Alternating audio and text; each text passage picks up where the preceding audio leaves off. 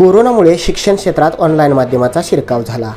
गेल्या वर्षी कोरोनामुळे बोर्ड परीक्षाही रद्द झाली होती. त्यानंतर यावर्षी बारावी बोर्ड परीक्षा देणारे विद्यार्थी तब्बल दोन वर्षानंतर ऑफलाईन परीक्षेला सामोरे जाणार होते. त्यामुळे विद्यार्थ्यांना गुणवत्ता सिद्ध करण्यासाठी ही बोर्ड परीक्षा म्हणजे एक कसोटीच ठरणार होती. या पार्श्वभूमीवर दरवर्षीपेक्षा यावर्षी बारावीच्या निकालाची सर्वांमध्ये चर्चा होती. या दरम्यान काल महाराष्ट्र राज्य माध्यमिक व उच्च माध्यमिक शिक्षण मंडळाच्या वतीने घेतलेल्या बारावी बोर्ड परीक्षेचा निकाल ऑनलाईन पद्धतीने संकेतस्थळावर जाहीर झाला. यामध्ये सातारा जिल्ह्याचा निकाल चौऱ्याण्णव पॉईंट तेवीस टक्के एवढा लागला. सातारा जिल्ह्याने कोल्हापूर विभागात यावर्षीही द्वितीय क्रमांक पटकवलेला आहे. दरम्यान विज्ञान शाखेचा निकाल यावर्षी सर्वात जास्त लागला असून गुणवत्तेमध्ये विज्ञान शाखा अव्वल ठरलेली आहे. यावर्षी सातारा जिल्ह्यात परीक्षेसाठी एकूण सदतीस हजार पाचशे आठ विद्यार्थी बसलेले होते.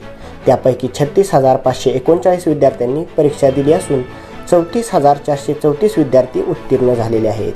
अशी माहिती माध्यमिक शिक्षणाधिकारी प्रभावती कोळेकर यांनी दिली.